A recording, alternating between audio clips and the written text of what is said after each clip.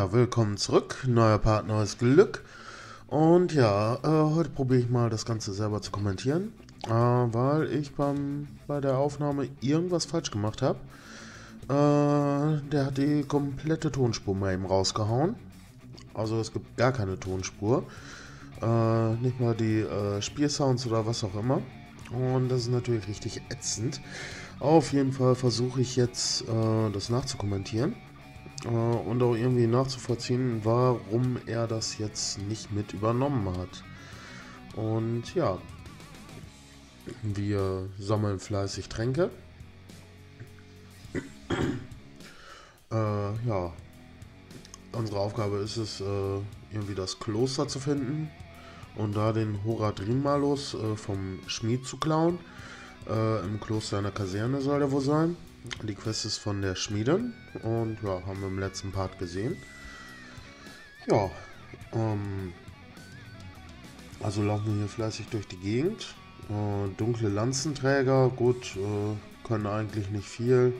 Nehmen wir nochmal Schlüssel mit. Äh, ja gut, äh, diese Bogenschützen, die sind echt nervige, nervige Scheißviecher. Ähm, ja, die ziehen nämlich nicht unbedingt wenig Leben ab. Ähm, generell ist das größte Problem, was wir im Moment haben, ähm, dass wir relativ wenig Heiltränke haben. Äh, ja, hier machen wir jetzt erstmal den Schamanen platt. Und ja, relativ wenig Heiltränke. Äh, das ist vor dem Hintergrund ein bisschen bescheiden, weil äh, so viel Leben haben wir auch nicht.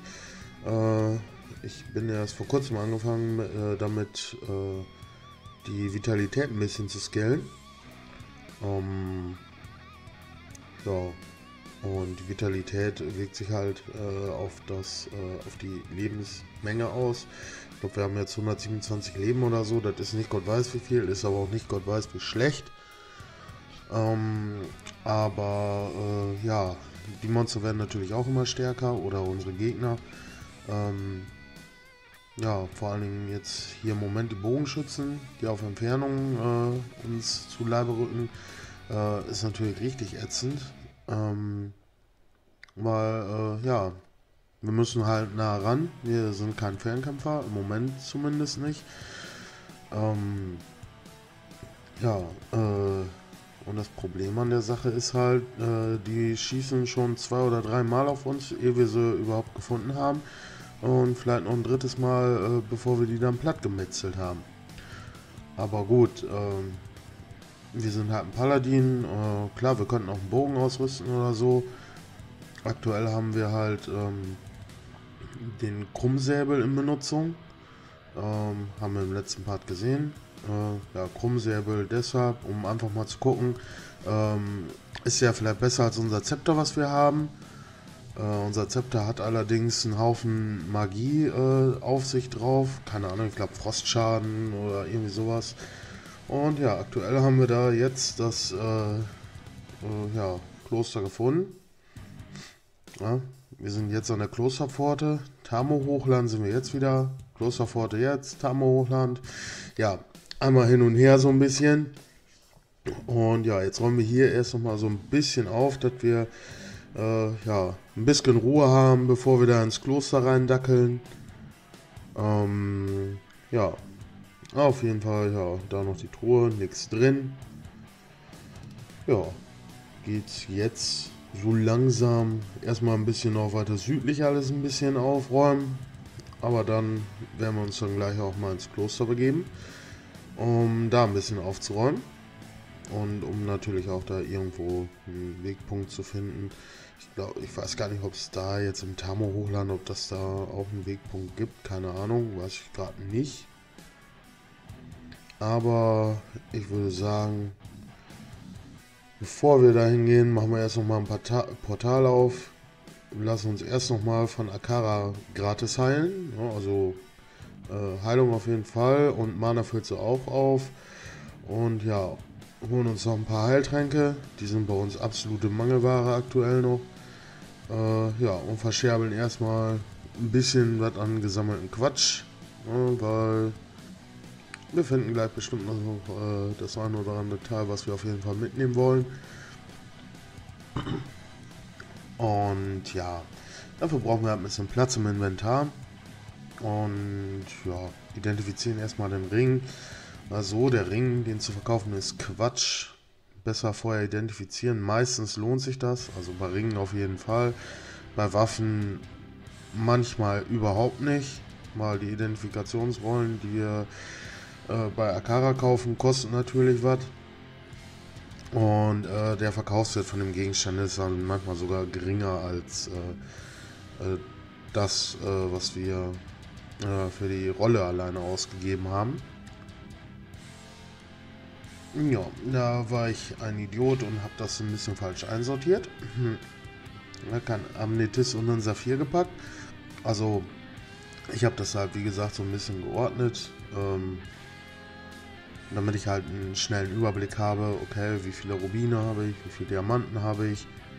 Und ja, jedenfalls äh, geht es jetzt erstmal äh, zu ihr nochmal, um unsere Begleitung wieder zu holen. Da wollen wir doch mal schauen, was die Gute denn so im Inventar hat.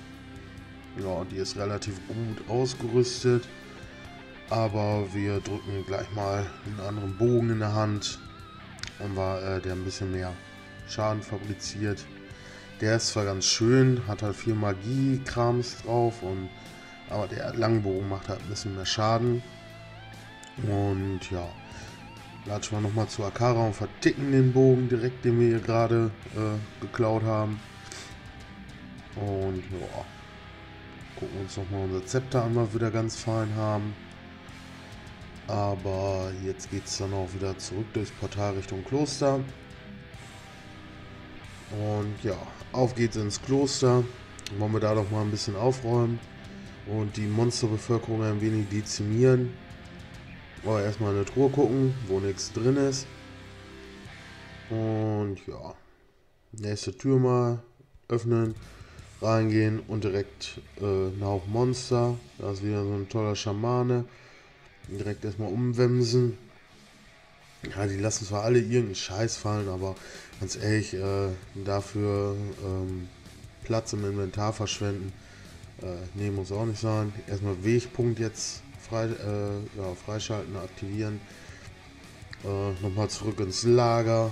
Schon mal zu, zu ihr wieder zurück. Nochmal reparieren lassen, insbesondere dann jetzt auch unser Zepter. Ja, nur 43 von 50 Haltbarkeit. Jetzt muss es leider ausgerüstet werden und ist relativ teuer zum Reparieren. Dann lassen wir jetzt auch mal ausgerüstet.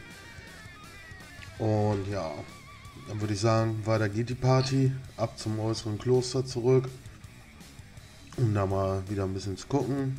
Ja, so ziemlich jedes zweite Fass äh, explodiert bei mir. Gefühlt jedenfalls.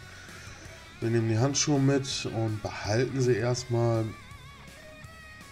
Obwohl das eigentlich totaler Quatsch ist. Äh, ja, typisches Fail-Gameplay von mir. Keine Frage. Und ja, Erstmal geht es ja jetzt ein bisschen weiter das Kloster aufräumen. Guck mal da doch mal rein, was es da noch Feines gibt. Wie, wie ihr sehen, den Yeti gibt es wirklich. Zweimal sofort. Ja. Und ja, aber sonst ist hier eigentlich relativ wenig los.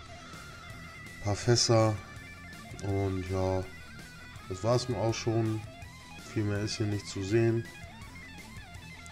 Ja, ihr seht, 120 von 127 maximal möglichen Leben, die wir haben. Relativ schwach eigentlich. Aber ja, dafür haben wir da wieder so ein paar äh, Klingenrücken. Richtig ätzende Scheißviecher, die beschießen ein und ja, das war es auch eigentlich schon. Mehr können die gar nicht. Mal mit tolle, toll mit ihren Pfeilen in Anführungsstrichen rumballern. Und das war's. Erst nochmal heilen, bevor es durch die Tür geht. Ein paar Heiltränke wieder ausrüsten. Ja, und dann auf geht's weiter. Und da wieder ein Schaman. Ja, teuflischer Schamane.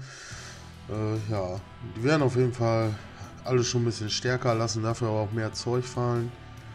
Ist nicht schlecht, ist aber auch manchmal relativ nervig und ätzend. Aber gut, äh, ja, jetzt sind wir auf jeden Fall schon mal in der Kaserne in der Kaserne irgendwo soll ja auch der Schmied rumlungern. Und ja, würde sagen, wir suchen dann erstmal den Schmied. Und dazu müssen wir hier erstmal ein bisschen aufräumen. Ja, da war's mit dem Aufräumen. Hier nochmal ein bisschen rumgucken, ob hier noch irgendwo was Tolles ist. Ja, eben die beiden Truhen mal losreißen, gucken, was da, da noch so Schönes drin ist. Aber dann würde ich auch sagen, weiter geht die wilde Fahrt im nächsten Teil. Und ja, Knochenbogenschütze. Da sieht man jetzt ganz gut, äh, dass sie doch schon ziemlich reinhauen, die Viecher. Ähm, ja, was soll man sagen? Äh, ja, ist noch ein besonderer, aber auch kein Problem eigentlich. Aber man sieht trotzdem schon, äh, die hauen ganz ordentlich rein mittlerweile. wir gucken nochmal unten, ob wir da noch was haben. Jetzt schmeißen wir unsere Handschuhe und irgendwo habe ich einen Gürtel aufgesammelt, keine Ahnung wo. Füllen unsere, unsere Heiltränke nochmal auf. Äh, gucken in eine Truhe, holen uns hier nochmal frisches Mana und sammeln eigentlich nur das ganze Gold jetzt ein. Nachdem wir da wieder einen Schaman gefunden haben, den wir ein bisschen umklatschen können.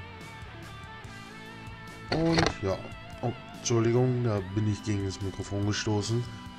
Ähm, ja, schwarze Jägerin, ein Haufen von denen. Äh, ja, die machen eigentlich nicht so viel Schaden, aber sind halt nervig, weil die immer, weil die A total schnell sind und B äh, nie alleine kommen, sondern immer Minimum zwei, äh, meistens noch mehr. Ja, Unterarmklinge, nur für Assassinen geeignet, also müssen wir sie liegen lassen. Gut, das Einzige, was wir machen könnten, ist die mitnehmen, und, um, sie zu um sie zu verhökern. Aber nein. Jedenfalls, äh, ja, 45 Gold mittlerweile von den ollen Typis. Ist nicht wenig. Ist nicht Gott weiß wie viel. Aber ihr seht schon, langsam äh, läuft das mit dem Gold bei uns. Ja. Entschuldigung. Ähm, ja, die Kammer ist auf jeden Fall leer. Also gucken wir mal auf die Karte und sehen, alles klar. Da vorne ist noch eine zweite, eine weitere Kammer. Also durchsuchen wir die auch mal, ob wir da noch, ob wir da vielleicht endlich den Schmied drin finden, ob der sich da versteckt hat. Um, ja, auf jeden Fall aufräumen können wir trotzdem. Ja gut, da sind jetzt zwei Champions vom Todesclan. Äh, die hauen natürlich richtig rein. Äh, lassen wir auch schön was fallen. Aber unser Leben ist natürlich derbe down. Also müssen wir jetzt erstmal zusehen, dass wir ein bisschen Leben auffüllen. Hauen uns zwei Heiltränke rein. Und ja. Jetzt gucken wir nochmal nach dem Durchmesser, was das denn wohl so kann.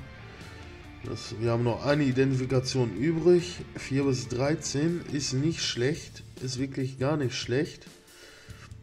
Äh, und deshalb tauschen wir es einfach mal durch. Hat auch ein bisschen Magie-Krams drauf. Ähm, wir probieren es einfach mal aus mit unserem äh, neuen Dolch.